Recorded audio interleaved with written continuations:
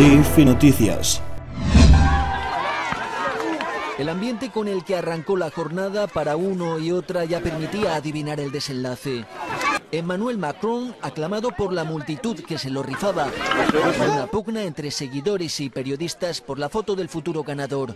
Marine Le Pen con cara de circunstancias, barruntando una derrota clara que ya le habían anunciado las encuestas. Y con su público sí que lo tiene, pero que ha resultado insuficiente como para un desenlace que hubiera puesto a Francia patas arriba. Los franceses, lamenta, han votado por la continuidad.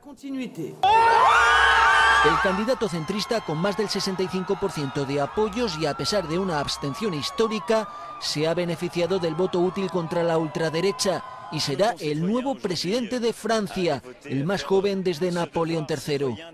Sin embargo, dado que su partido en marcha está recién nacido, deberá rematar la hazaña en las legislativas de junio para evitar una complicada cohabitación.